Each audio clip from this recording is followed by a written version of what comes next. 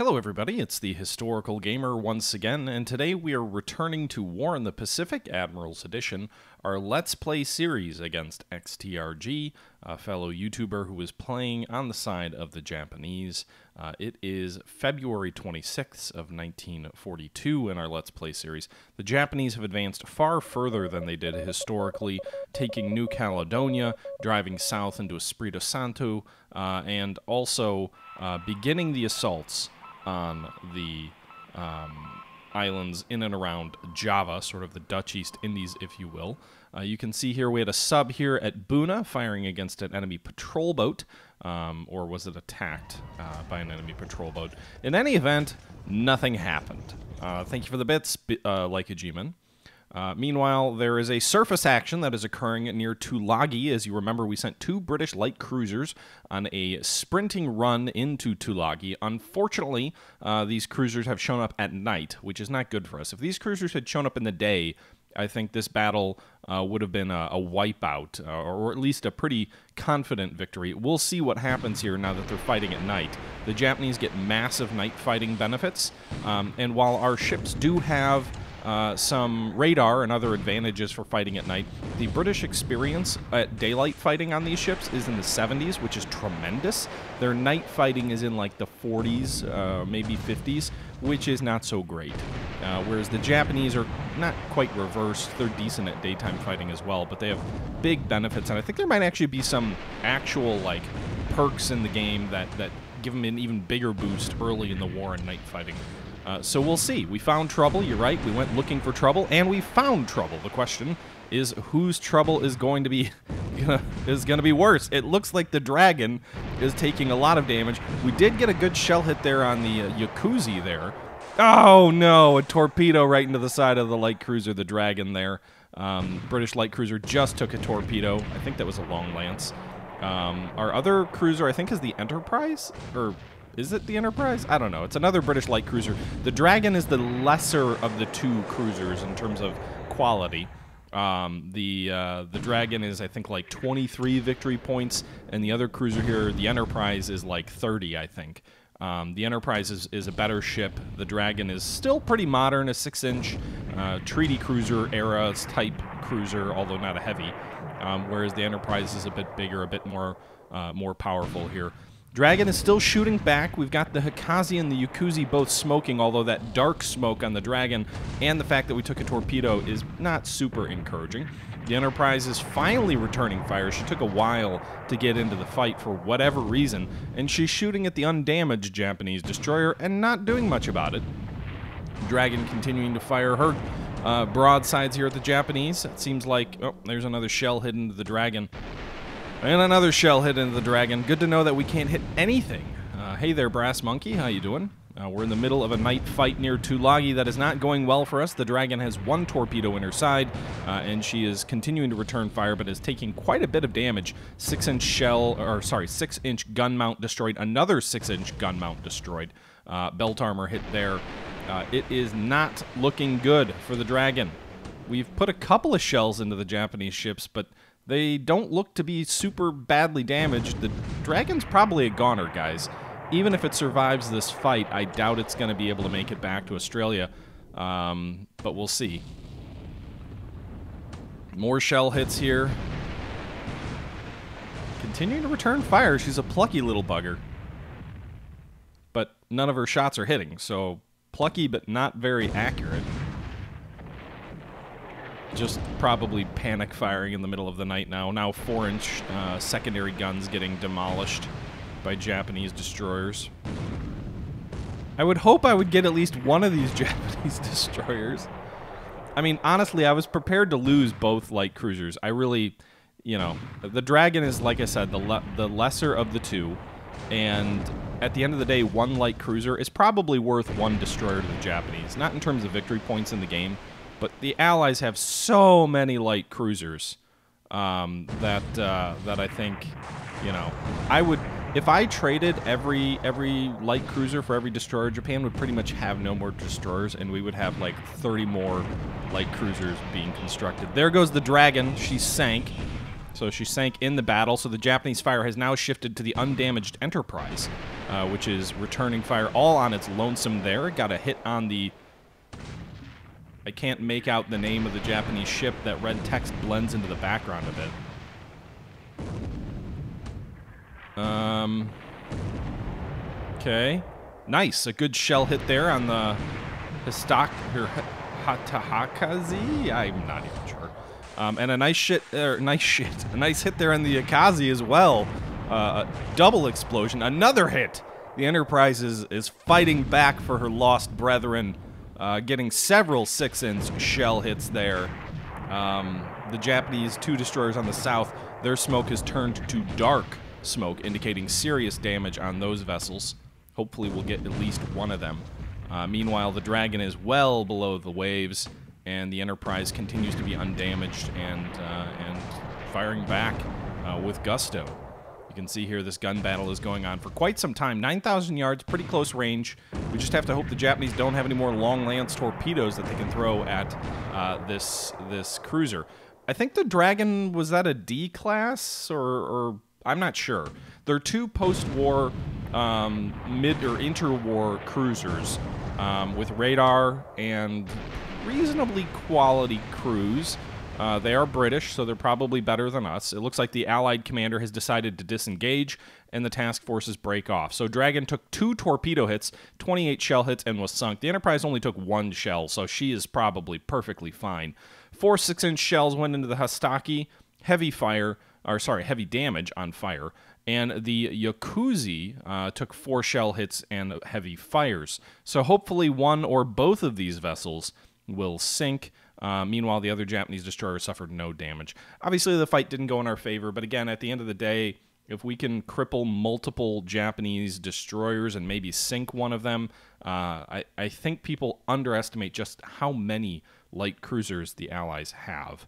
Um, so I will I will take that. It was not the end of the world. It wasn't the best result, but so far anyway, it's not the worst result. Um, hopefully those light cruisers make it out. Jesus. We remember we sent our heavy cruiser, the Louisville, into Port Moresby to try and uh, bombard the Japanese troops there, and she just dodged a torpedo, six torpedoes from a Japanese RO 61 submarine operating there.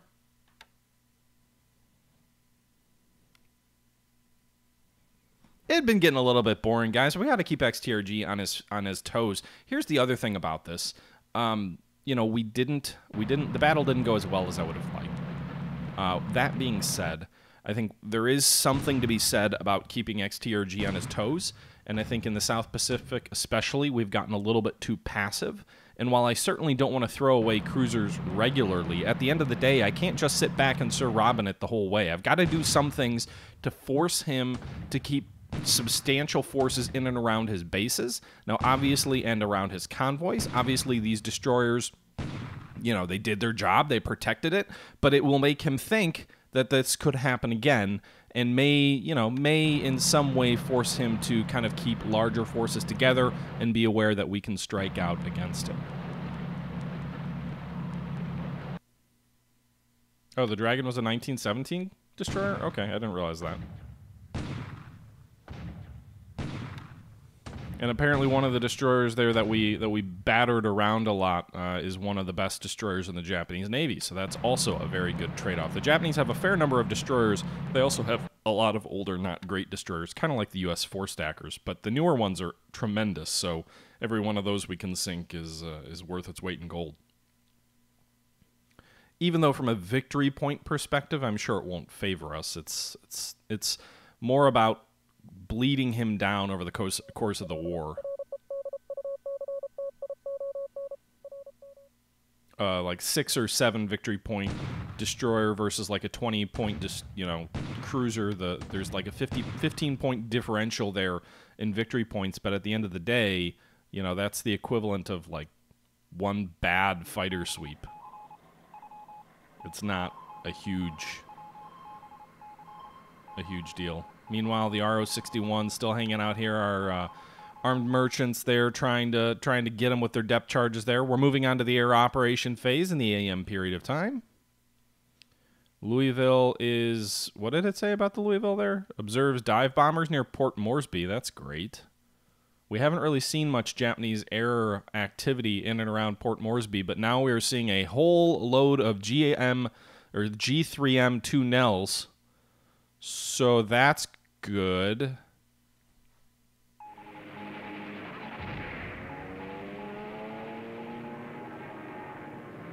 All right. A lot of recon going on. We'll fast forward through some of that. All right, Japanese fighter sweep by the looks of it over Surabaya with zeros involved, a 6M20. So we'll have to take a look and see if they're from a carrier or if they are land-based aircraft.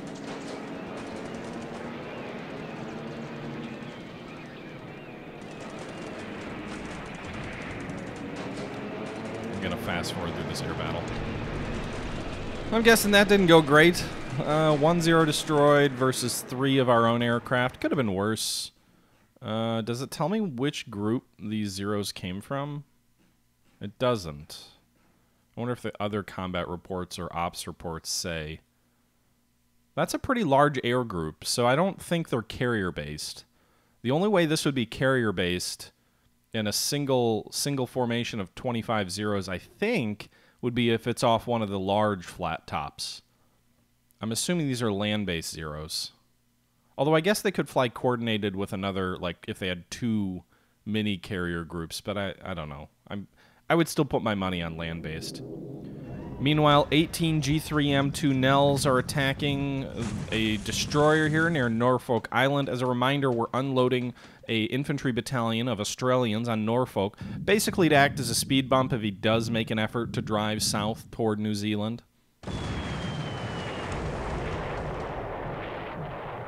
Um, was that a torpedo? I didn't quite see, but in any event, he, uh, yeah, he put a torpedo into the side of one of our armed merchant ships. I think that's only one or two victory points. Not a big deal there. Also, hopefully he burned 18 torpedoes there, because I think 10 torpedoes are a thousand supply, or is it a hundred? In any event, torpedoes are expensive from a supply perspective. So now we know he's got torpedo uh, planes operating out of what looks like Noumea which is problematic as well for us. That means we have to move even further south down toward New Zealand. We have to be very careful about aircraft moving around in this area. But he has revealed to us that he has Nels operating out of New Caledonia, which kind of effectively shuts off the Western Australian coast as well uh, from enemy or from our shipping, unless we hug the coast. Uh, so that's not good. This, the, the fall of New Caledonia is most detrimental because of what it does to our ability to operate along the Australian coast. Um, yeah, we could try and bomb uh, Noumea next turn uh, like a G-Man. We, I don't think we had any planes operating there this turn. 16 Nels apparently operating out of Rabaul as well. Uh, dropping weapons, attempting to drop weapons. No! What?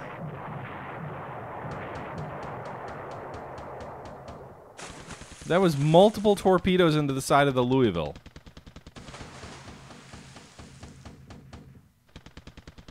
Two torpedoes into the side of the Louisville. Heavy damage.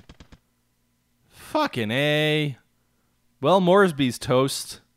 I can't reinforce Moresby or really do much with... Uh, Australia's going to get invaded, guys. This is just the reality. There's no way Australia doesn't end up with Japanese troops landing on it before long.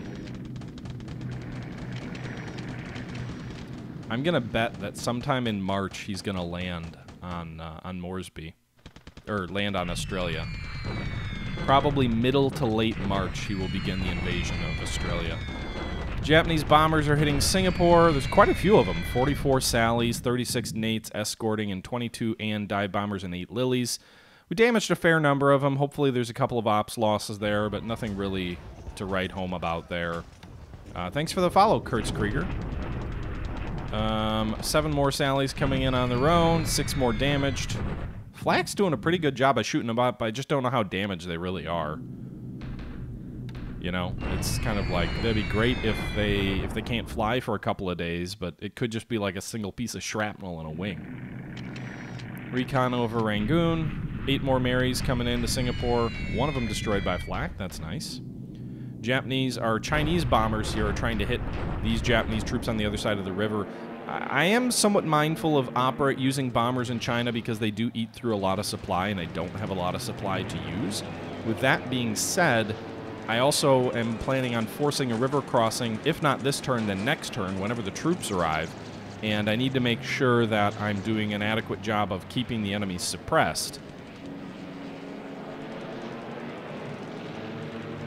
We'll see, Brass Monkey. I think he's going to make a landing in Australia before too long. Meanwhile, we've revealed our Hurricanes to him, as well as some of our Flying Tigers over China. Um, these guys are flying escort for the 33 bombers that are coming in. Hurricane 2A tropes, tropes. Uh, and then our, uh, our Flying Tigers. Look like the Flying Tigers got shot down. Uh, we're in the midst of a fierce air battle before, between 14 Oscar 1Cs. Looks like we just got one of them. And 12 Hurricanes. So the British Air Force operating in China. We're getting in behind them, getting a couple of them destroyed. These are some some quality British pilots here shooting up an Oscar squadron a little bit. A couple of kills. They've evened the odds. It's now 1-1. Tortuga, the, the Australian forces in this game are very much glass jaws.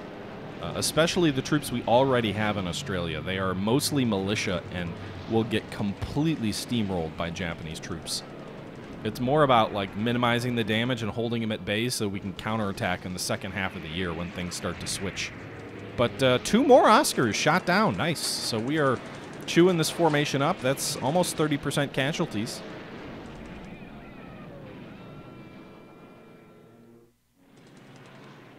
Although we do have the sixth Australian division on the way to Oz, on, on the way to Oz, so that is uh, some very good results. And more Oscars are getting shot up. All right, we'll fast forward a little bit.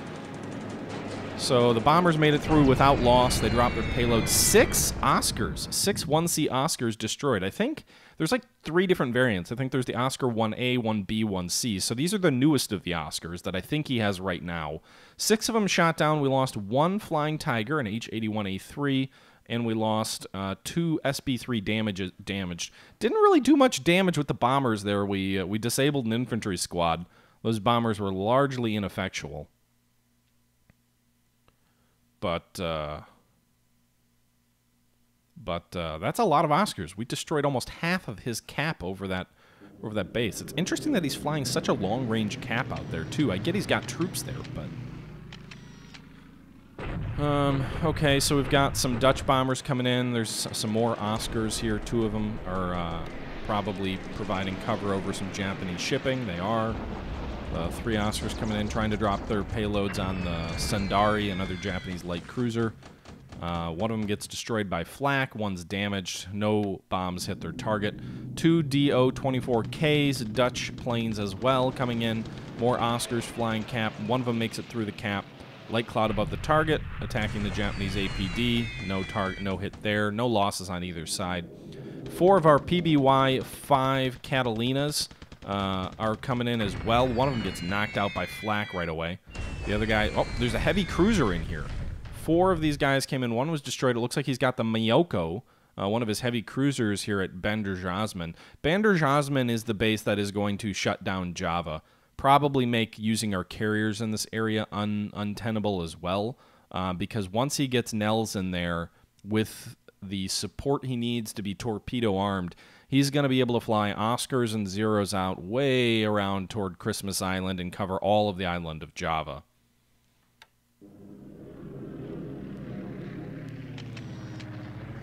Okay, so we've got nine A-24 Banshees, which are the Army Dauntless dive bombers, and then 12 Wirraways um, hitting the Japanese troop at troops at Moresby. One infantry squad disabled, not a very effective rate.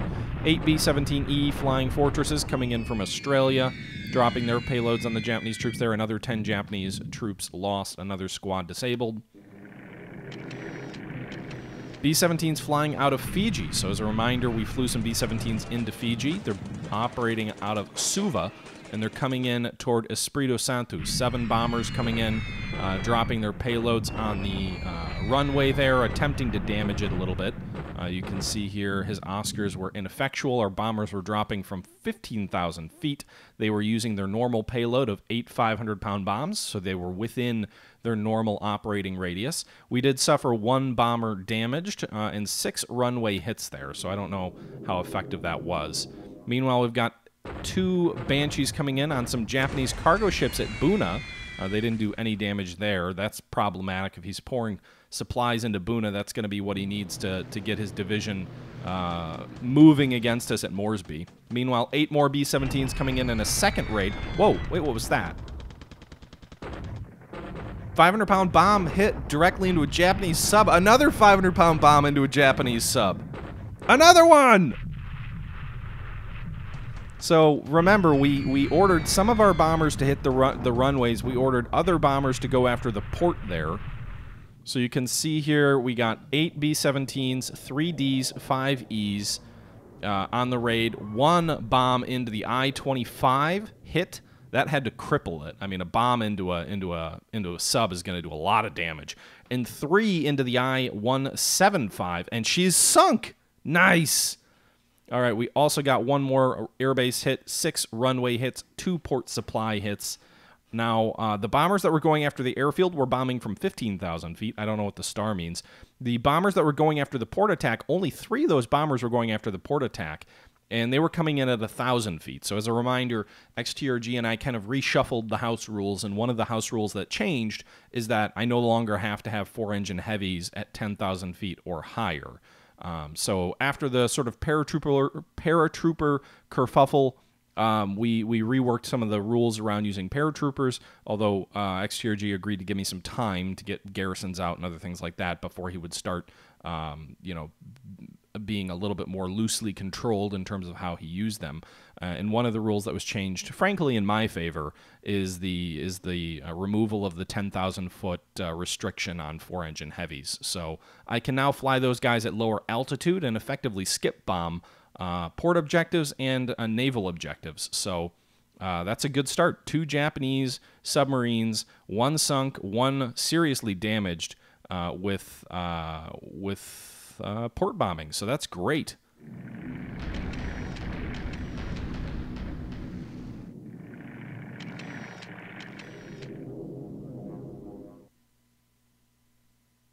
Okay. Moving into the PM phase here. More Nels doing a lot of recon here over Moresby. Hopefully they don't put any more torpedoes into our ships.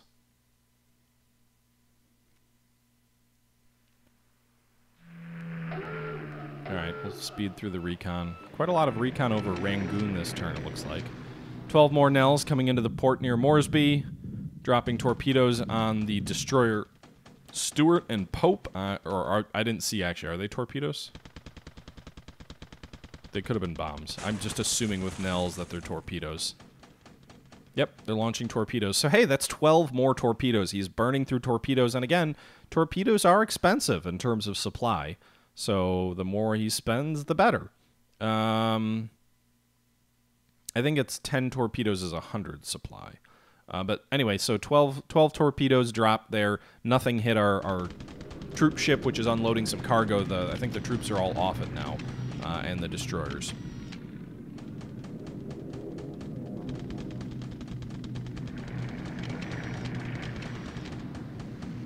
More air combat here over China. Apparently, two of our flying tigers flew north. I definitely did not order them to fight there. Two fighters versus 59. I don't. That won't turn out well. So those two H-81s. We damaged eight Sallies and six Sonias. I'm guessing most of that's with flak. A little bit of damage to our troops there. More flying tigers and British aircraft flying in the north. I did not order them up there, but this is a slightly more advantageous situation for us. Only nine enemy fighters uh, for the second wave of bombers coming in. We'll fast forward through this as well. I didn't quite see what we hit. Looks like we at least got one of his aircraft with flak. We got a Sally destroyed, a Nate destroyed, two Idas damaged, and then we got an Ida and an Oscar both destroyed. So um, one Oscar destroyed in air-to-air combat, one Nate, one Sally, and then one Ida destroyed by flak. We didn't lose anything there, so that's a pretty good result for us. another Japanese raid here, an even smaller one escorted by Nates. There's Sonia's coming in here. Our Flying Tigers intercepted them there. No Allied aircraft shot down. We, we destroyed one Nate, damage to Sonia. We're getting some pretty good rolls on the air-to-air combat over China, it seems. DO-24, one of them's coming in against the Japanese task force here, against the Isuzu. These Dutch bombers can't hit shit. They're coming in low, too, aren't they? Oh, no, they're coming at 11,000 feet. That's a mistake. I should have brought them in lower. Two Catalinas coming in. Oscar intercepting. One of them makes it through. Were those guys coming in high, too? Why am I sending everybody in at 11,000 feet? All right, some Army Banshees coming in here at Buna, going after the Japanese cargo ship. Yeah! Thousand pound bomb! Another one! Woo! Nice. So these guys are pretty crappy. They have uh they're bad. Hey, one into a into a patrol boat too. Nice. They uh, these are army bomber uh, army dauntless bomber pilots and they I don't think they had very good experience ratings, but we got two bombs into the side of a cargo ship and one into a patrol boat. I imagine that patrol boat will sink with a bomb like that landing on it. The cargo ship might sink too. Two hits and heavy fires. Thousand pound bombs are big fucking bombs, um, especially hitting Japanese ships without much in the way of deck armor, especially a cargo ship. You can see there it hit an enemy ship. He's carrying additional troops into Buna there. Um, that's uh, part of the excitement, I think, is that we killed 123 Japanese uh, infantrymen or, or whatever they are, soldiers, um, with four squads destroyed, 10 disabled, probably sank this ship, um, badly damaged another, and hopefully cut off additional supply that he would have been putting into Buna to support his attack on Moresby. But I mean, we really haven't sunk many Japanese merchant or cargo ships to this point in the war, so anytime you get to sink, sink or probably sink a Japanese ship, that's you know that's important. That that uh, that's helpful.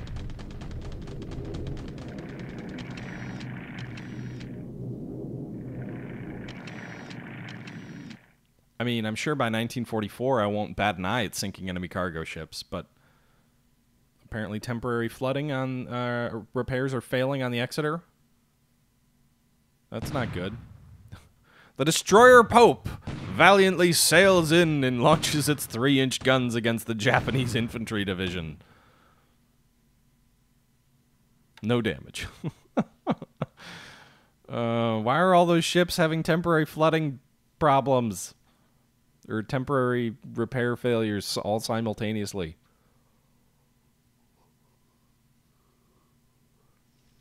All right, Japanese bombardment attack at Singapore, so they gave us another day off.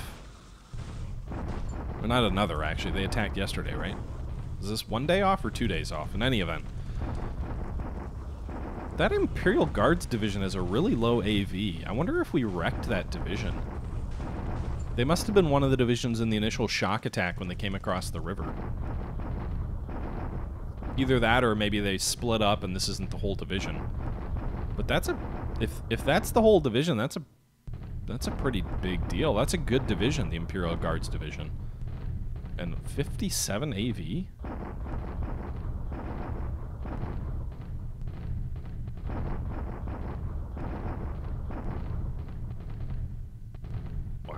All right. The 18th and 5th are in good shape. But yeah, I think this division started with like 300 AV when it came across the river at Singapore, if memory serves. And I don't, maybe I'm just making a big deal of it because because of the name of the division, but I think it's one of their better infantry divisions too. That was a pretty good turn for us. So he tried to bombard Singapore, but counter battery fire actually destroyed more squads than the attackers. So 65 Allied casualties, 154 Japanese, four Japanese infantry squads destroyed, only one Allied infantry squad destroyed. So that's uh, that's a good turn. That's four victory points to one. It was 400 like a G-Man? No way. They have a 400 division? Well, Jesus. If Again, I don't know if that's the whole division, but if that's what came across at Singapore, that division is fucked. Japanese delivered attack here at Changsha. Didn't they attack here last turn? It's hard to keep some of this straight, but it's uh, a major attack here in the north at Changsha. I think they attacked here last turn and we beat them. We'll see if we can beat them again. You can see quite a lot of AV dropping on our end. They reduced the fortifications to two. They must have been three previously. 1700 assault value attacking, 1300 defending. But when you adjust for the fortifications and the fact that this is also good defensive terrain, I believe, Uh, it drops them to a 1 to 3 assault level. The engineers do reduce the fort level from 3 to 2, and that happens before the attack, so otherwise this would have been even uh, more difficult for the Japanese. Uh, it's a pretty good result, though. So we lost uh, 11 squads destroyed, 17 guns, 212 disabled. So the troops got battered up a bit, but he lost seven squads destroyed, 20 or 294 disabled. He lost 2,821 men. We lost 2,223 men. Um, I would say that battle went in our favor. Um, more disabled troops on his end, slightly more destroyed on our end, but in terms of victory points, actually, it favors us uh, because the Chinese are, are less valuable from a victory point perspective. And uh, another attack. Uh, defenders get plus for terrain, minus for op mode, minus for preparation, minus for experience. The attacker had no combat modifiers. I think we were in move formation trying to get out of that hex. Meanwhile, he's taken Nanyang. Remember, we pulled our troops out west um, just a little bit. He had two brigades and uh, actually three brigades. We probably, if that's the whole formation he had there, we could have beaten him there.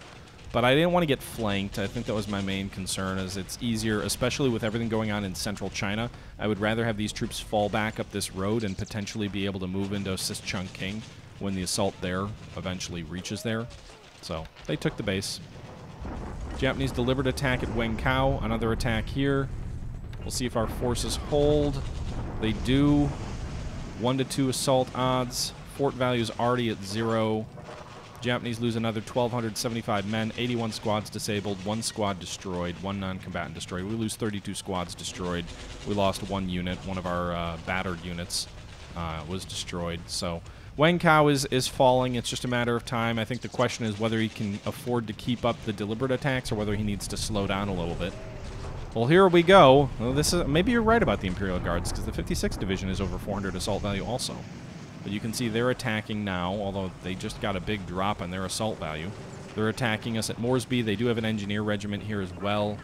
The engineer regiment doesn't have very much in the way of assault value here. It looks like they reduced the fortifications to level 2. They don't take the base, but they do remove the they do drop the value from 3 to 2. It's a 1 to 2 Japanese assault. 912 casualties for them, 14 squad or 4 squads destroyed, 89 disabled. We lose 15 squads, 27 disabled. We also Oh, we didn't lose any engineers. That's weird. 0 to 0. Okay. Um Anyway, so defender modifiers plus for terrain, plus for forts, minus for preparation and experience. Uh, the attacker, meanwhile, was apparently fatigued, so perhaps um, a symptom of moving through the mountains and not pausing enough. Um, but uh, yeah, so that's not good. I mean, with that division, if he's able to get enough supply in there, Moresby could easily fall in the next two or three days. I'm assuming with this fatigue penalty, he's probably going to wait a day before he launches another attack at Moresby. But um, Moresby will probably fall within the week, assuming he has enough supply there. Meanwhile, Japanese continue to deliberate attack with this second Raider regiment. It doesn't have any assault value. Granted, our defenders really don't either. We've got almost no infantry in this hex, but he keeps trying to push us back, presumably because he's planning on capturing these troops here on this on this base over here where we just had that last battle, and he's trying to interdict the supply coming down from Chungking down this major road. But um, five Japanese adjusted assault versus 196 on the defenders, 1 to 39 odds eight or ten squads disabled, three engineers disabled. If if the AV that we remember being at this base was right, like they've got 900 men with 36 AV, they just lost 10 squads disabled. That that formation is pretty much wrecked. So that's about a thousand men uh, in that formation, but they're probably a goner. Meanwhile, a bombardment attack at, at Kaigan or, or Kaigan or Kaigan, I don't know. It's on Mindanao. It's our it's our Bataan on Mindanao. We've got uh, really the best formation here is the 102nd Filipino Army Infantry Division here, um, and he's got a bunch of SNLF forces uh, and uh, a battered infantry regiment. He tried to attack here a couple turns back and failed in his assault, and now he's trying to soften us up with some bombardment with some heavy guns. Japanese deliberate attack at Kunching. Forces there hold. 1 to 1 assault odds. They reduce the fortifications from 2 to 1. Japanese lose 273. We lose 43. That's actually a fair bit of, uh, of disabling of Japanese troops. 35 squads disabled. That is not a good result for him. The other thing is, like, every time he launches one of these attacks, while we often don't necessarily win in the victory point perspective, we need to remember those squads disabled, they take time. He needs to pull them out of the line to get them refreshed so that they can, you know, they can continue attacks. So it's sort of a situation where it probably doesn't matter as much for this guard unit because he's probably just going to use it as a garrison. But he can only take so many squads disabled before he has to pull a unit back and let it resupply and sort of wash supply over it and let it recover and that's time and time is money and time is is everything for the japanese at this stage in the war. So everything we can do to delay him is great. Meanwhile uh, another uh, assault here in central china uh, a chinese uh, sort of um, uh, collaboration force the 23rd rgc uh, temporary c division. So it's a fragment attacks what's left of the 21st chinese corps 14 casualties on the japanese our troops will probably starve out there eventually. But uh, meanwhile, bombardment attack at Ambon, 10 Japanese casualties, none for the defenders. I think our supply there is really low, so we'll have to take a look at that. Uh, but overall, I'm actually pretty okay with that turn. We lost the light cruiser, which kind of sucked a little bit. Um, but uh, we did some bad damage to two Japanese destroyers. We uh, we hit a Japanese cargo ship pretty badly. We threw back a couple of Japanese assaults with, with quite a bit of, uh, of bloodshed. Um, and uh, and overall, I think I think that was a reasonably good turn. I mean, Moresby's gonna fall. That's I think the depressing thing, and he did reduce the forts there, so that's the bad thing. But also not super surprising, right? Like when he showed up with a full division there, I think I, I it was sort of it was gonna we were gonna lose, so we knew that. Um.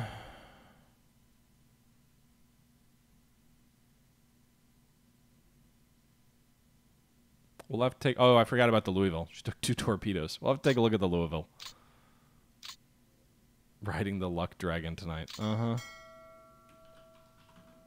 I don't know if I was so lucky that turn or if he was lucky.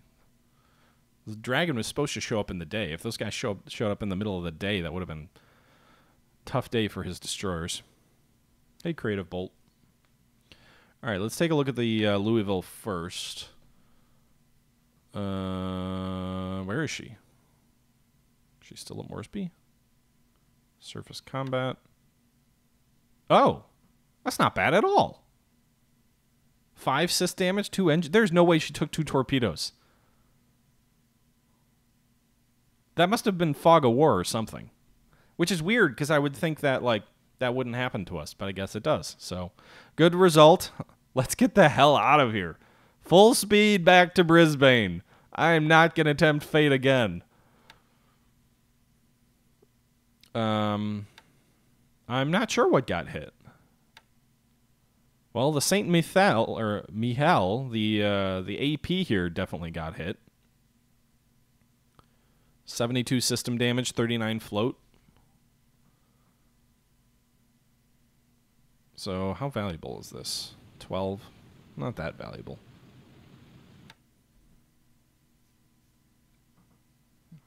Okay. Let's return to Brisbane with you guys. Cancel unloading. All you have is 27 supplies left. That's not worth worth sticking around for.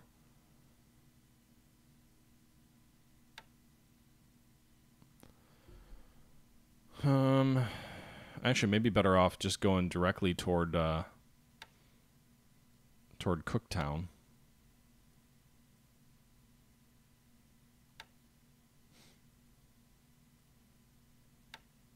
Just get directly as far away from Rabaul as I can.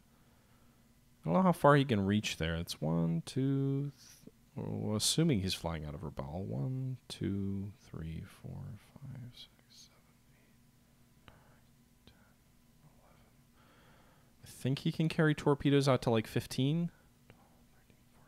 So he'd be like at the extreme range of his torpedoes with where I'm trying to run the uh, the AP to. The uh, Pope, meanwhile, should be able to get out of there easily before daylight, even. And um,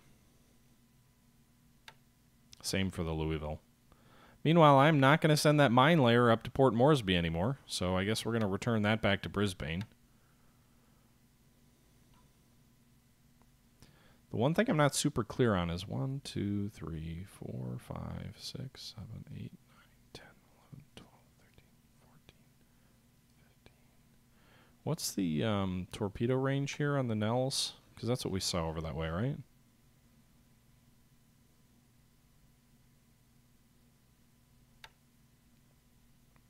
Normal range is what you need for torpedoes. So 15 hexes. Jesus.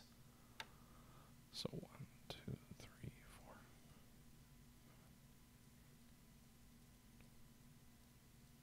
Yeah, so, and I think no, Koumac is probably one closer.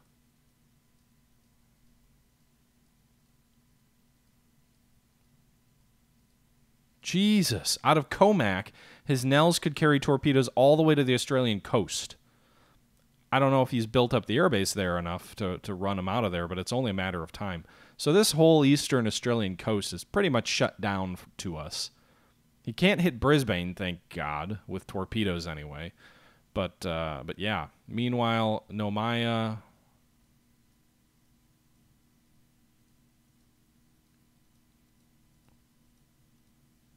Yeah, we have to stay south of Raoul Island as well. This narrow corridor in here is kind of where we have to go. It's also why I shifted this battalion into Norfolk Island, is to at least delay him, because that is a big enough base to, to base Nells out of. Granted, I think running supply that far down would be very challenging. Um, is it possible to shut down the Japanese airfields with the amount of B-17s I have? I don't know if I can shut them down or not. I got a couple of hits, but I somewhat doubt I did too much damage to Luganville. Um, that's his biggest base that we've identified so far. Koumac, I think, is a 2, and, uh, or sorry, not Koumac. Noumea is a 2. Koumac, I don't know. Last recon was 0. Um, Espiritu Santos, meanwhile, has a level 4 airfield, um, and still some shipping around it. Um, but yeah, we'll probably have to funnel supplies to Oz either th- directly through New Zealand or south through uh, in this corridor down here. Um, it adds like 20% commute time to our to our sailing. So it definitely makes things less efficient for us, but it's also, hey, listen, we've got to do it. We can't just surrender that area. Uh, meanwhile, with Port Moresby taking the beating it did, I probably need to look at getting our air forces out of there as well. These Banshee pilots did a good job last turn. Um, for look at these experience levels; they're all in the below forty, and they put three bombs into Japanese shipping. Man, they're they're, they're heroes. All right. Um, I can run a lot of supply into Perth. I've been running a lot of supply into Perth. Um, you can see here we're unloading 14,000 fuel, or maybe we're not. We should be unloading 14,000 fuel into Perth. Uh, we've already got over 170,000 fuel. Australia can make pretty much all the supply it needs. It has a lot of industry, a lot of industry that can turn fuel points into supply points. So, um, these guys are headed out. By the way, we saw some temporary flotation failures on the Exeter, I believe. Where is she? Uh, what are these guys? Oh, we're bringing in anti-aircraft units and light anti-air and British anti-tank guns into uh, into Perth. I forgot about that. They were coming in from Cape Town. So it looks like we've got the 85th British anti-tank gun uh, regiment, which uh, TOE is, yeah, that's a good amount of anti-tank guns. That'll be useful if he lands in Australia with armor. Um, tankers headed back to Cape Town. Where did those cruisers go? Are they off map already? I didn't think they made it that far.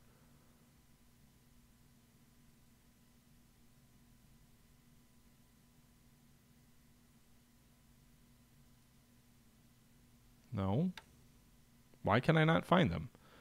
Uh, list all active ships, heavy cruisers, Exeter. Where are you, Exeter? Task Force 148. Apparently you are off map. Okay.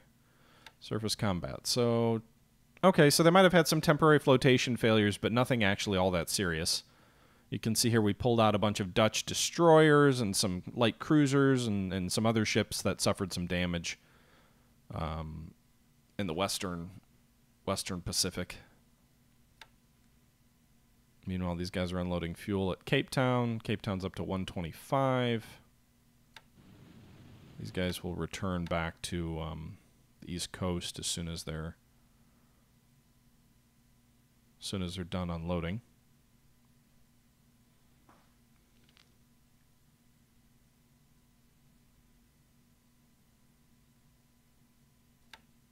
I don't know why it says loading complete. They should be unloading. Um, okay. So, trying to think of what to look at first. I guess probably China. Uh, like a G-Man because it's the only yard I had out in that direction, to be honest. Also, that yard won't be overworked for very much longer. Before those ships arrive, I think the yard will be underworked. So if you take a look at this yard here, 80,000 capacity, 82,000 is in use. However, in three days, the Queen Elizabeth will come off the ways, uh, fully repaired, and she will free up, what is it? 48,000 tons. So half the shipyard will be free in three days. Uh, in eight days, the Canopus will come off the yards, and that's another 6,000 tons. So we do have two battleships that are eating up a lot of the, the capacity and, and weight there. We've also got a tanker, the Gertrude here, uh, coming off in uh, 20 days, 5,000 tons. Um, so in terms of uh, uh, in terms of well, you're right. She's off the yards, but she still counts toward the 80,000 capacity being used. I think, or maybe not. Well, what are these? These are 35. Oh, I guess I'm wrong then. Queen Elizabeth is already not counting toward that. Well, we'll have to figure it out. Maybe we'll move Exeter to the British East Coast. Uh, that's an option. The U.S. East Coast is also an option. Um, but I don't have any on map uh, repair yards where they can where they can effectively be used. So um, the yards in Perth are too small. The yards on the Australian east coast, I think, are too small. Yeah, that can only take 10,000 tons. Sydney can take, well, maybe she can take 30,000 but the on map ones aren't as efficient, and they're within the combat radius, so. In any event.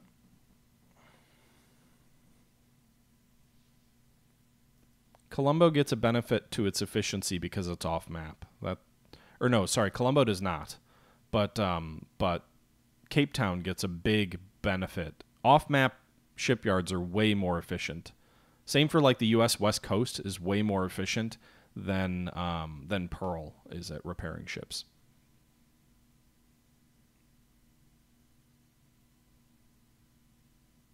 Okay. Also, Colombo could be in range of where he might uh, where he might bring some uh, some carrier strike forces at some point. All right, so that's enough of that. What are we gonna look at? We've been going for almost an hour now. Um, the attack at uh, at Changsha did not go in his favor but we also ate a lot of supply. We've only got 40 supplies in the base, so these attacks are chewing through our supply. None of these guys are completely out of supply. Uh, most of these units, like this guy's way low, but he's not out. 55th Chinese Corps is at like a third of its supply. We're trying to get these guys out of the hex. You can see here they're at 29 miles, so they're a ways away still. Um, they need to get another 19 miles. No, I can't do math. 17 miles to get off the map. We could switch them back to move formation, and I think they could get there the same day as long as they don't get bombed by Japanese bombers, in which case they'll switch back to combat march, uh, and it'll be two days to get them off.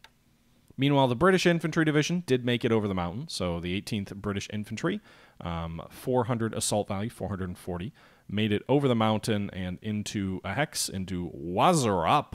Uh, it's three miles toward uh, Myitkyina.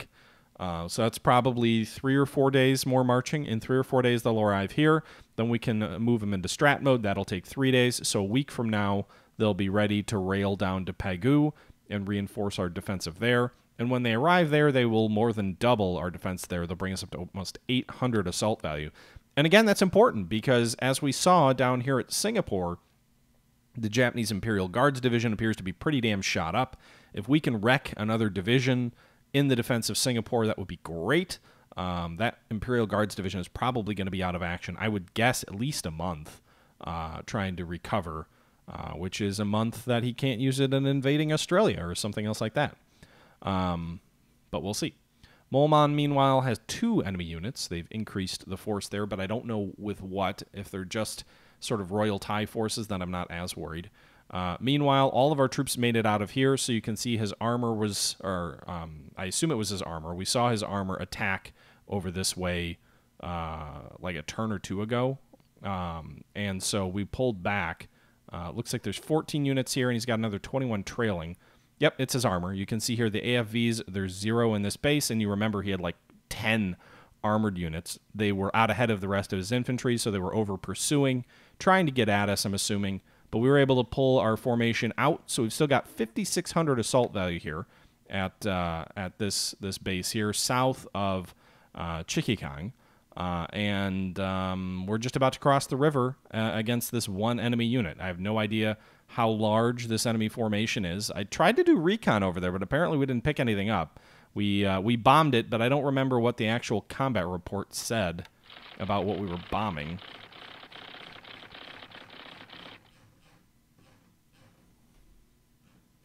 Trying to remember.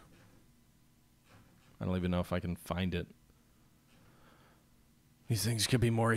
These things could be easier to navigate and find stuff in. Ooh, is that it? Chikikang? The fourth independent mixed regiment? He got a regiment there? Is that the right base? It is. How the hell did he get a regiment behind us? You transfer them in by air? They're not paratroopers, so we would have had to move them with like transports, which might explain why he had the uh, the cap over the base with the uh, with the Oscars. Um, huh. Well, I, I, still don't think one regiment will hold up very well against the rest of our formation that's barreling down on it. You can see some of our troops are preparing to cross already. They will cross next turn. They're five miles away. We've moved them into combat formation. Um, so we should be able to overwhelm them. We've mostly got good supply on all these units of ours. Some of the units are new to this hex. You can see 25 miles, 24 miles, 11 miles. So some of the units are a little bit newer to the hex than others, but I'm sending about like a thousand assault value across the river. Um, I'm hoping a thousand versus probably like at most. Well, let's see, his brigades are usually around 160. His regiments, I don't know what they're at, like 100, 130, somewhere in there. Maybe 160, but 160 versus 900, we should have the we should have the edge there. We also moved in another corps behind uh, so we've now I think effectively surrounded him. He could retreat east potentially to join up with his paratroopers. Maybe I don't know if he can retreat into a hex with enemy troops. Um, there's troops behind him. There's nowhere to retreat to north. So we might be able to crush this guy and destroy him. That's the hope, anyway. Because um, we're going to be shock attacking because we're going to be crossing a river. So there's that. Uh, meanwhile, our uh, 46 Chinese Corps, one of the corps that was shattered at Shaoyang, uh, made it into Hanyang. And I thought there was only one unit there, but apparently there's three now, so shit. Okay. Good luck, boys. You got three squads. Fight it out. Um, in that case, if he's reinforced there, I think we're just going to move back to Quilan with those troops. Because if he's got any any any meaningful force here, we're pretty screwed. Hey, Warthon, thanks for the the subscription. Appreciated. Um, Yeah, so we're going to move these guys back to Quilin rather than trying to move in toward Hanyang. I thought there was only one base here, uh, and I thought maybe it was something light and I could I could attack it, but um, looks like he moved more forces in here, so that kind of caught me by surprise. Uh, Wang Kao, meanwhile, not in good shape. Supplies low. The 100th Chinese Corps is down below 250 assault value. Um, they're at almost half supply. The forts have been reduced to zero. Uh, the base is battered. Yeah, so it'll fall before too long. Uh, Bataan, meanwhile, still hanging out there, doing okay. 26,000 supply.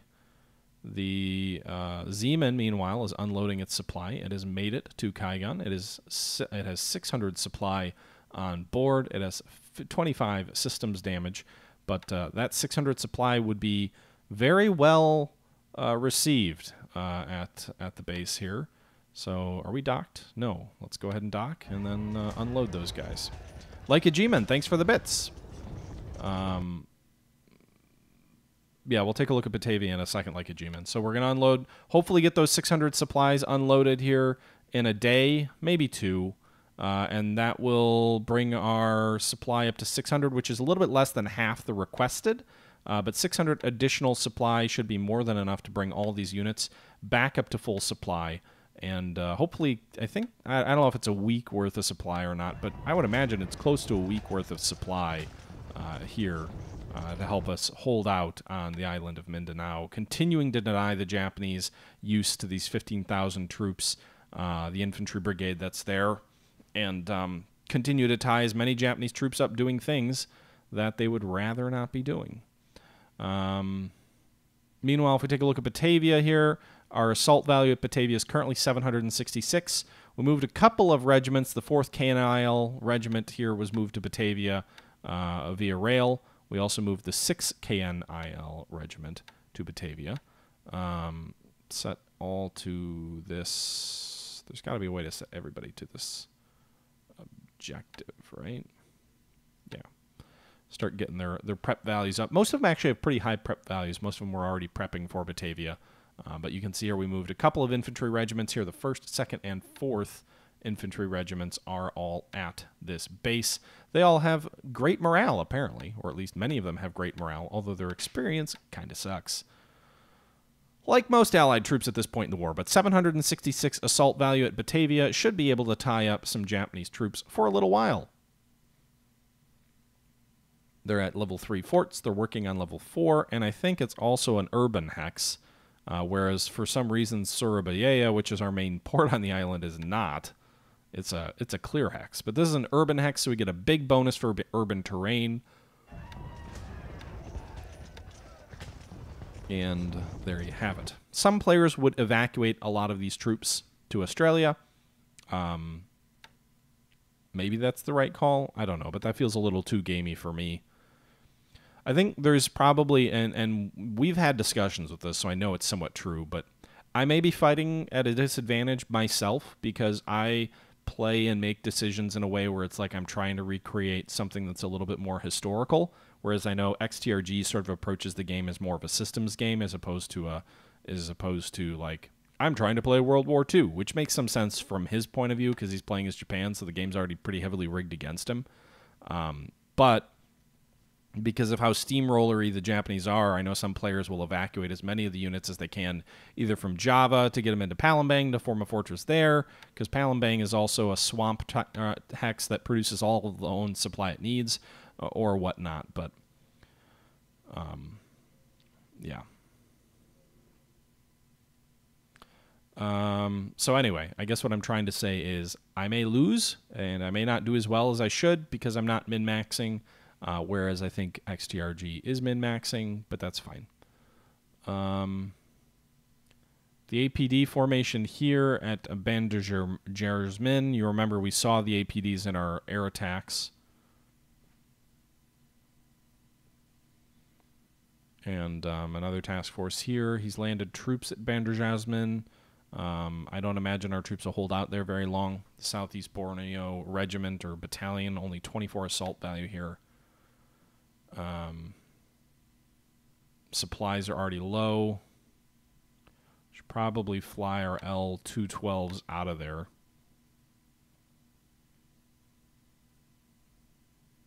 As many as we can, anyway.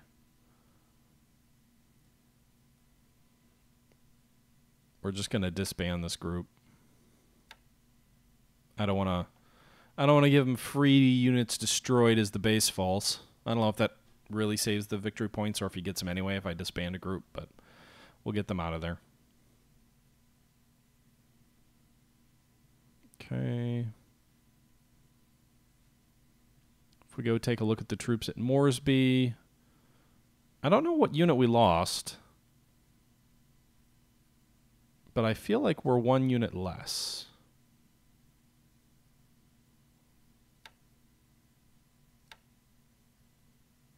Yeah, I think the C company got destroyed. I don't remember seeing that in the combat reports. Did it say there was a unit destroyed in the combat results? Huh.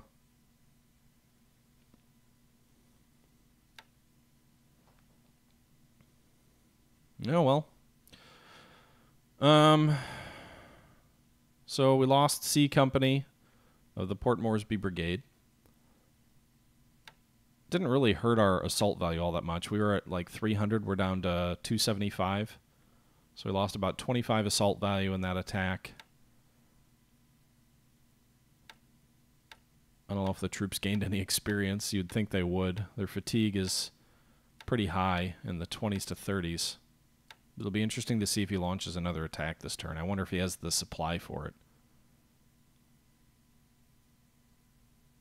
Probably should move our air units out of there as well, if we think he could take the base this turn. What's the terrain of... I can't even see. Is it jungle terrain in Moresby? It's a malaria zone. Okay.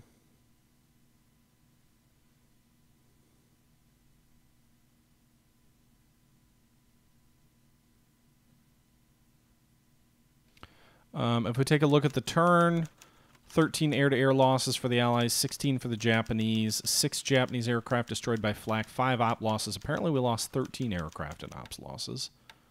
So if we look at this day, 14 Oscars we're claiming were destroyed, 13 via air-to-air, 1 via ops. So that's a pretty damn good day. Uh, that's a lot of Oscar 1Cs. Again, that's the better of the Oscars, I think, anyway, that he has.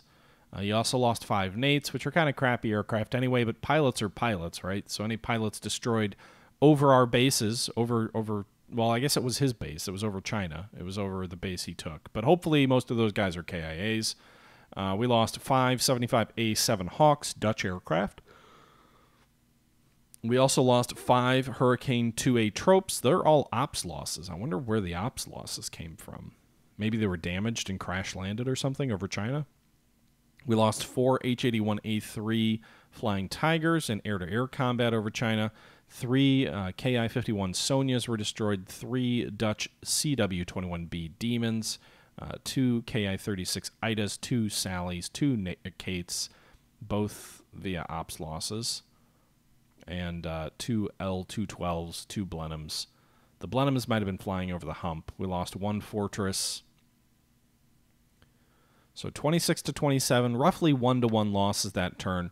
I do want to tell you guys there was there was some bad news uh, for our forces this this day.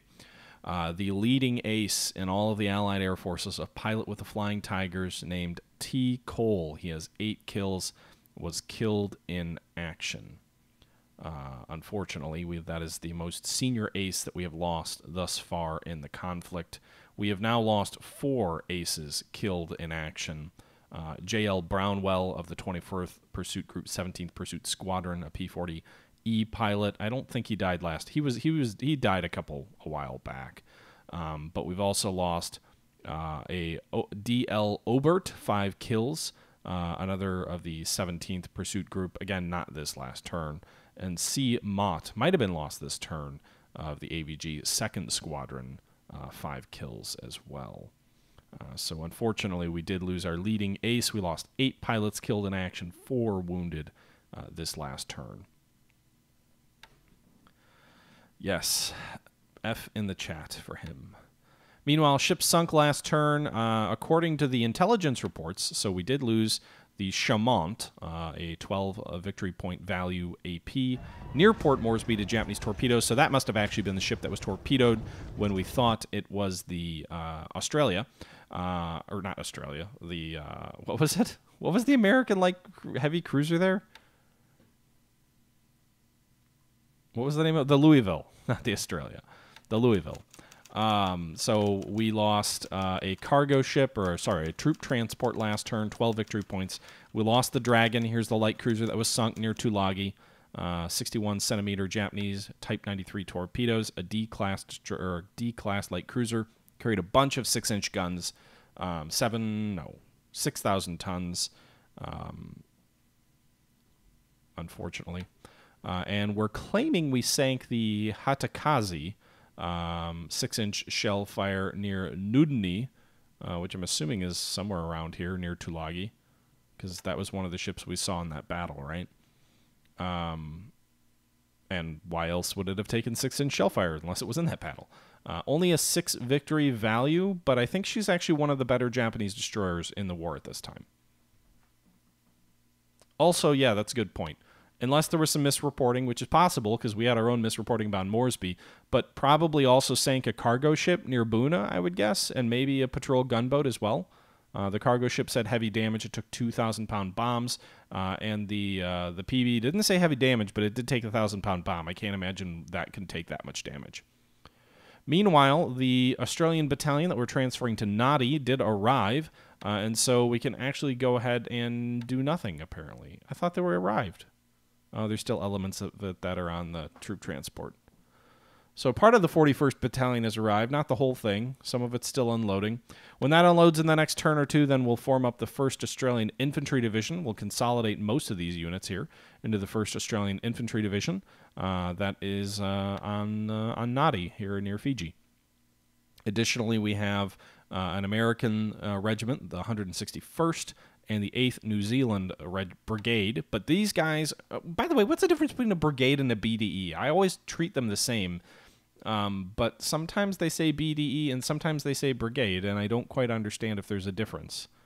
Um, because, like, over here, we've got the Moresby BDE, but then this is the Port Moresby Brigade that is a subunit. So, like, I don't.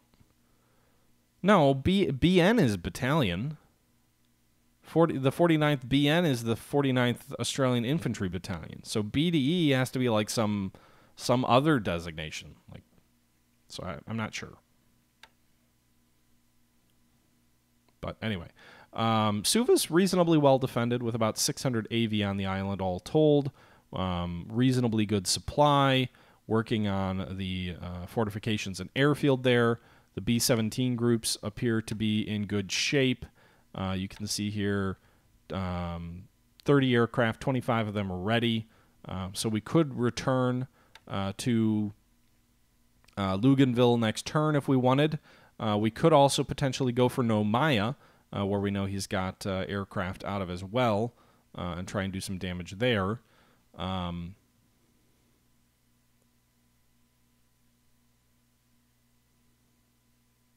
but yeah. Um,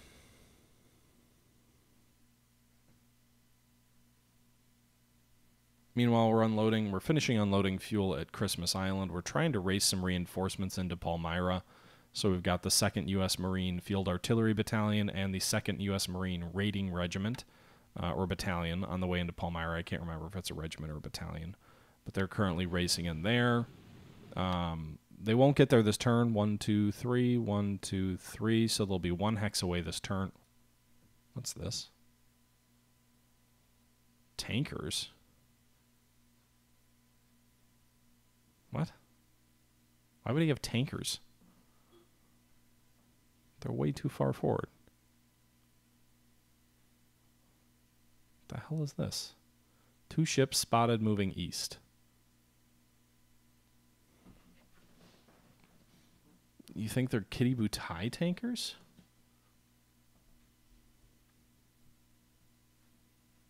Huh. They could be subs, right? Like sometimes the subs get reported as ships.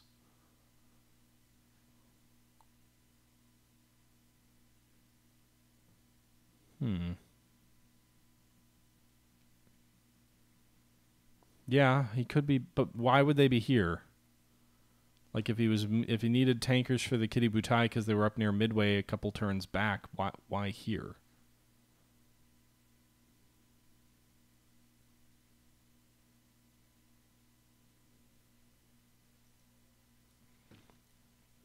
Could they be that cruiser force we spotted? We saw the two we saw two light cruisers and like three destroyers at Baker Island a couple turns ago, but I don't think light cruisers typically get reported as tankers.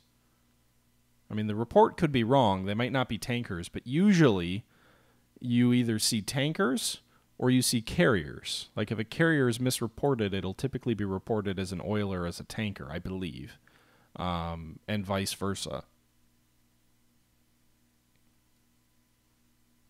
They could be transports too, I guess. I don't know. I just know when I was talking to Belugan about doing like some some silly diversionary thing to try and freak XTRG out, Belugan told me if you want him to think you have carriers, put either fleet oilers or tankers in the task force, and they'll get reported as as as carriers. So I'm assuming it works both ways.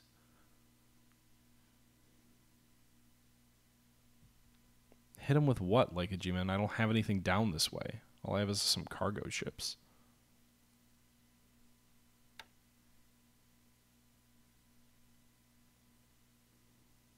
Most of we have some heavy. We do. I I did move some light cruiser or some heavy cruisers to the east of Palmyra to give some some cover to these uh, these troop ships as they move in.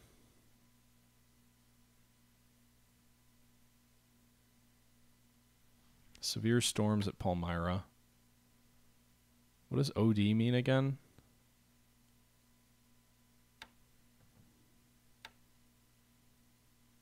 Clear sky, really? Shit.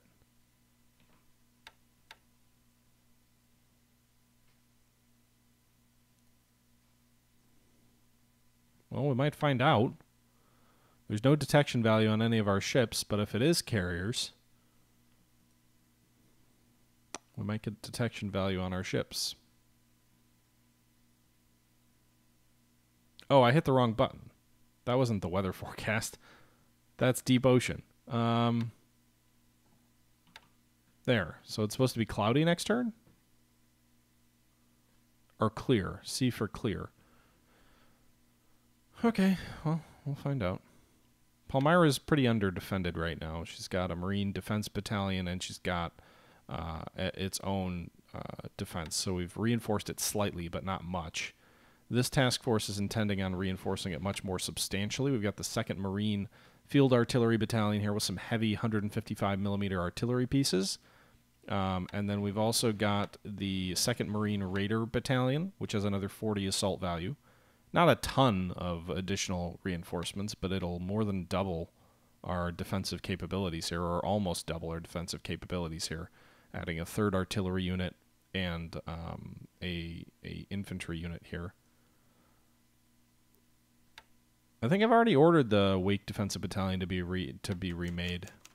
If we take a look at uh, where is it? Ground units destroyed. Um, let's just show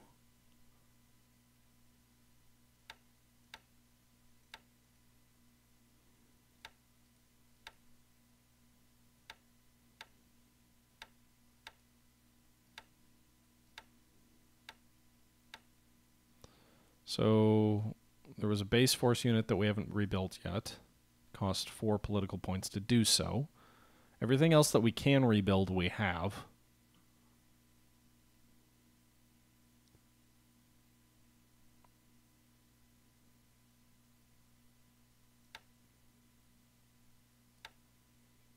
Rebuild that base force in San Francisco. Um, Meanwhile, one of the task forces we loaded up with some ships, uh, some stuff for Australia, uh, the 754th Tank Battalion, the 8th Pursuit Group, 110th Combat Engineer Battalion are all on their way to Australia. They're also bringing a little bit of supply with them. Okay. Um and then we've got the Americal division down here already on its way. Still a ways away, 169 hexes away. Only moving at about three hexes a day. I should. I need to do a better job of like pairing my super fast transports, like these three cargo ships with 19, 22 knots. Even this one, the Santa Paula, 19 knots. The Rochambeau, the Santa Maria, 19 knots all told. Those guys should be blitzing across the ocean. I shouldn't be allowing three ships with 14 knot speeds to be slowing us up, but I am.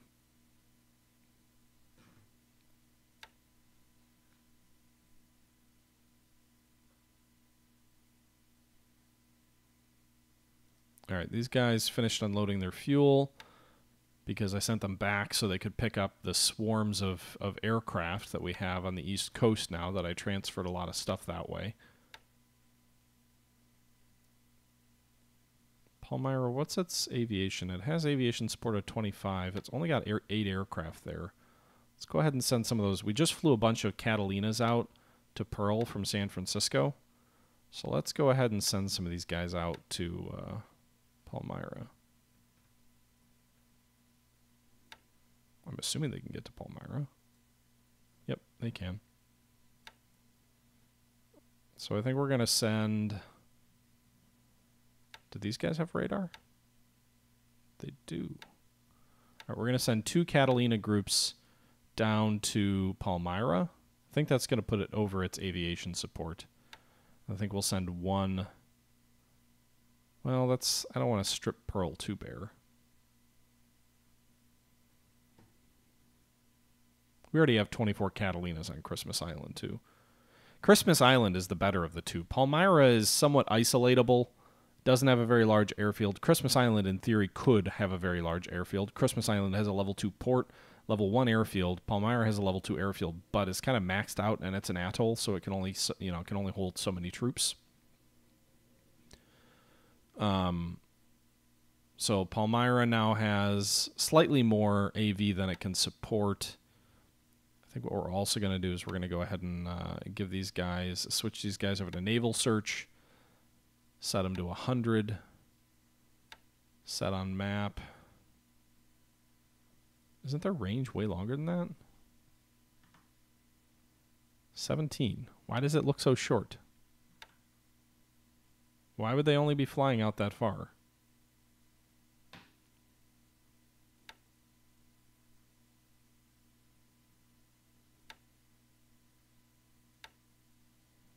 Do I have them set to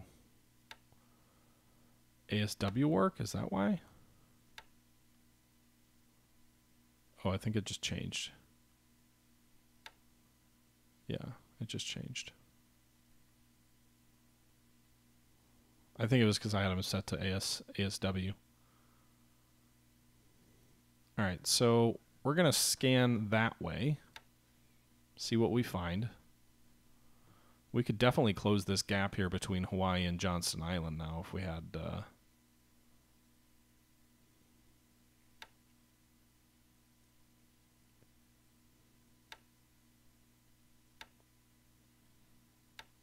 All right, let's Swing these guys south. Nice. That's exactly what I want. Probably shouldn't have them set to 100. That's not sustainable.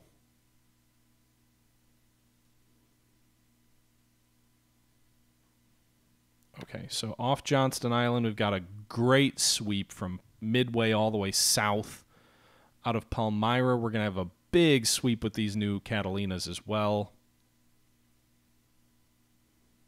So if he is sending something anything further east, we're going to get a good visual on him. What I'm curious about is how did we pick him up there? I don't have any recon that goes that far out. So how did I detect these guys? Was it a sub maybe?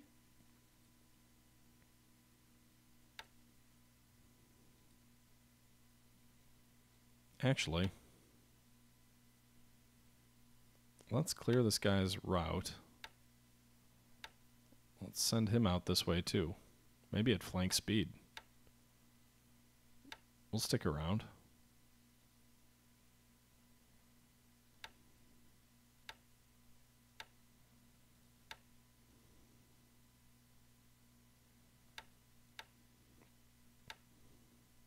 Get two subs out ahead of whatever that whatever that formation is. If they are tankers, we should be able to chase them down, get ahead of them. Um, SIGINT, what do we see here? Radio transmissions. Where is this? What hex is this? 152, 129.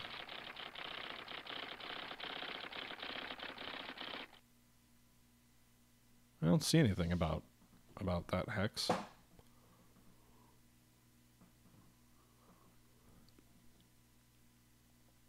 Okay, so he's moving a base force to Swing King, not a surprise. Nothing. Hmm. I don't know.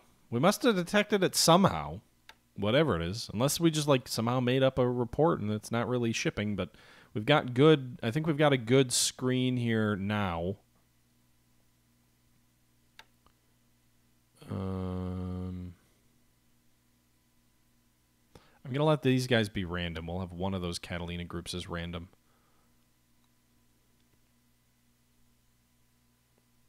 Probably can't hit anything. I mean, the Catalinas can bomb, I guess, if it is something that we can bomb. But.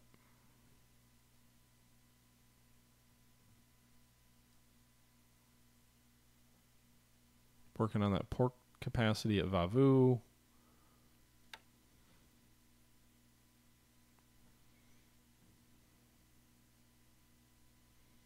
I guess, yeah, the ops report could show.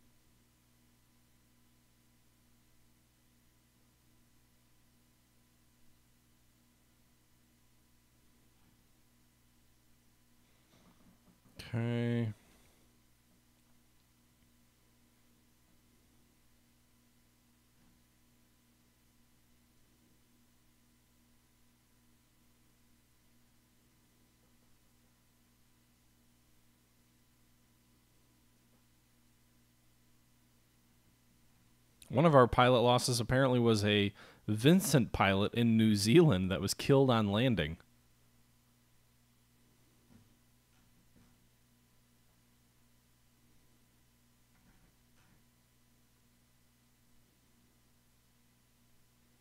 We also had a P-30 or P-43 Lancer damaged on landing.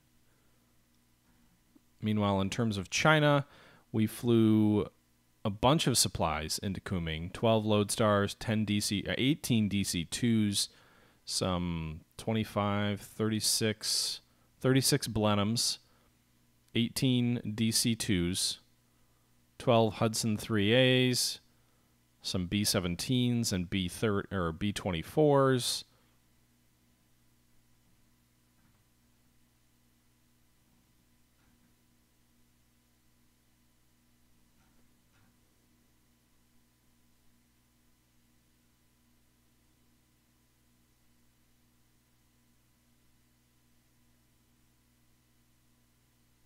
Okay.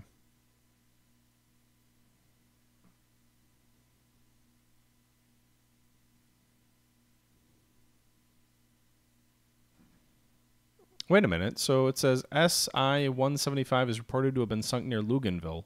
So we didn't get credit for that kill according to our last turn ship losses, but this says it is. Meanwhile, loss of the Dragon is admitted, loss of the Minesweeper, DeLorean, Whippoorwill, cargo ship Henry. Interesting. Okay. Uh, well,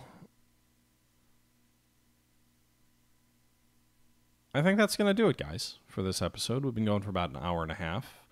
Uh, I think I have some things to think through before I send the turn over to XTRG, but I probably won't do that on uh, on on on stream right now. Um, By the way, uh, Buffy Dingo, thank you very much for the uh, the subscription. I just saw that you subscribed. Ploesi, Nman121, Pig Power, thanks for the follows. Appreciated. Biff Hopper, also thanks for the follow. But uh, but yeah, I think we are going to wrap this up. Um, oh, interesting. So we spotted one ship that was moving west over here, and now apparently this one ship is moving east. Okay. Um, but yeah, I think that's going to do it for tonight. Hope you guys enjoyed the stream. I'm going to go ahead and sign off. I'll think through how I want to respond to XTRG's moves this turn. I think, you know, this was a really interesting turn. There was a lot of interesting stuff that happened in this episode. And um, I think next turn will probably be the same. We're going to be crossing the river here at uh. We now know there's the fourth independent Japanese infantry regiment here. I'm imagining it's not the whole regiment. Like if he transferred it via air, which he, I mean, that's the only way he could have gotten it there. Is I think most of its heavy equipment would have had to be left behind. So they probably have a fair about, amount of assault value. You know, might be around 100 or so. 100, 120, 130, whatever a regiment actually gets. Um, but then when we cross the river, they won't have a lot of their heavy support weapons. I imagine they won't have much in the way of artillery, and we're crossing with 900 assault value. My hope is we can destroy whatever he has here, and then move east to destroy the paratrooper unit as well, um, and then uh, you know fully free up the rear of Changsha. Uh, the troops we have here will probably continue to pull out. They're currently at uh, 29 miles, so they probably won't make it out of there this turn. It'll be interesting to see if he attacks here again. I expect in the next turn or two another attack on Singapore. They attacked Singapore one or two days ago. I can't remember which. Uh, he's definitely going to wait and see and let his, his troops rest up a bit. But he's gonna he's gonna continue the pressure based on what XTRG has told me. You know he's he's regrouping and he's trying to regain the momentum. So I imagine Singapore will be assaulted here before long. Uh, I'm pretty excited about the fact that I think we wrecked the Imperial Guards Division, though. Bandjermasin will probably fall next turn. He won't be able to operate uh, air units out of it this turn, but maybe next turn even. That's a level three airfield. If he's got if he's got any um, aviation support there with the the force that he landed, we could very rapidly see Java turn into a into a no go zone. Um, and that's the situation right now, guys. The the biggest the biggest developments really were in the Solomon Sea and the Coral Sea. We had the uh, first loss of a, a ship in uh, the Solomon Islands chain, uh, which historically had many ships sunk there. It was the Dragon, which was sunk up near Tulagi. Uh, the Enterprise is hopefully making a clean getaway uh, back to Australia. But um, we know that he has GM3 Nells operating out of, I think, Rabaul. Uh, and then we also know that he's got Nells operating out of, I think, Noumea, which means that pretty much the Australian coast north of Fraser Island is a little bit safe uh, in toward Townsville, but even toward Brisbane, like we have to hug the coast or we can get torpedoed. He was launching torpedoes out at shipping near Norfolk Island, so it's uh, it's pretty da- dangerous. I think is he in range of Fiji too? One, two, three, four, five, six, seven, eight, nine, ten. 11, 12, 13, 14, 15. No, so Fiji is just out of range of torpedo bombers out of Noumea. Um, and I think they're also just out of range of Espiritu Santos because their bombers going there were 17 hexes. So he doesn't yet have torpedo bombers capable of shutting down Fiji, which is good for us, um, but we'll see.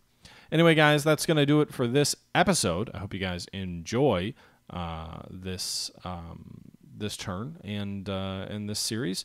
And until next time, um, the historical gamer saying thank you for watching, and I'm out.